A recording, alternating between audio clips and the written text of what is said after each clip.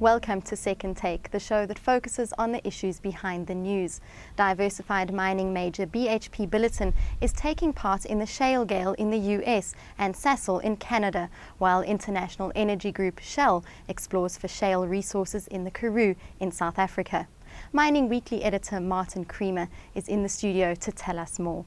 Welcome, Martin. Thanks, Shannon.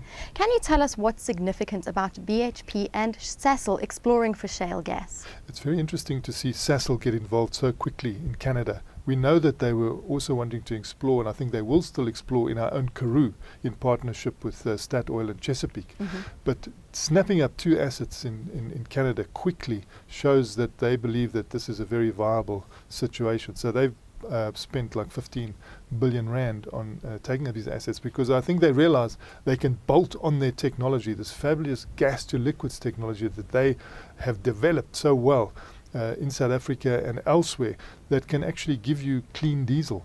So not only could they supply gas into the market, but they could also supply green diesel into the market. Then BHP Billiton is always simpler you know, they just want to stick to their knitting.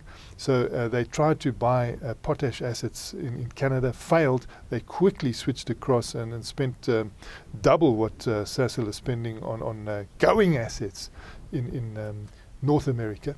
So they will have the pipeline as well as the gas and they will sell the gas. They are, of course, in hydrocarbons already. They, sell oil. So this is just uh, an addendum to a business they're already in. Now, BHP expects to close this deal in the first half of 2011, while Shell in South Africa expects to take nine years for the exploration. Yeah, it's a tale of uh, two cities there. You know, you've got the one buying an operational situation and getting into the business immediately and then exploring while it's in the business, whereas Shell is entering the business. So it's still got to do the hard yards of long exploration, and they're thinking of doing that in our Karoo. They are sort of second in line. I think Falcon got in ahead of them uh, and took the plum pot. But they are uh, they've got a very big area there, and they're looking. I think that's why they're giving themselves nine years, mm. so that um, they can cover this well and, and, and do it properly. But hopefully, it will be shorter than that. But you know, these corporates always uh, understate uh, things or give themselves latitude. Now, Shell expects to begin exploring uh, fracking in early 2013. What environmental impact could this have? Yeah, people frown on fracking. It's, uh, it's an hydraulic means of uh, getting the gas liberated out of the shale. For a long time, we couldn't liberate that gas. And then they introduced new technology and they use hydraulic pressure. So that pressure is built up by a mixture of water and sand and chemicals. And people don't like the chemicals.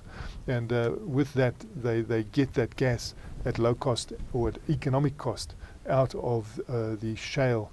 And this has been a game changer in the natural uh, gas market because it's brought the prices down. This is unconventional gas, but it's brought the prices down.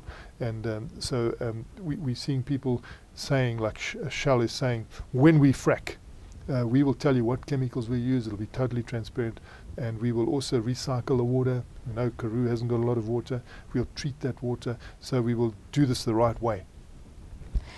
What sort of costs are involved in shale gas exploration? Well, we see there it's uh, over a billion rand for Shell. You know, they're looking at uh, 200 uh, uh, million dollars.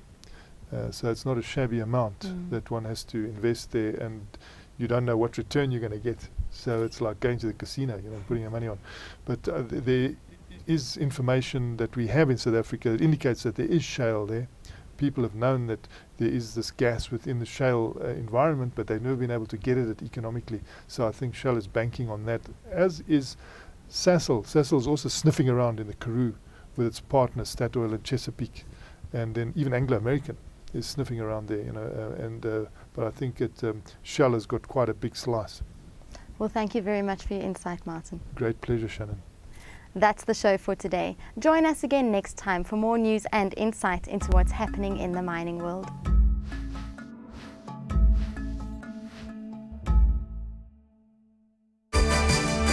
For 30 years, Creamer Media's engineering news has delivered unmatched insight into South Africa's real economy. Subscribe now and go to engineeringnews.co.za for the real economy in real time.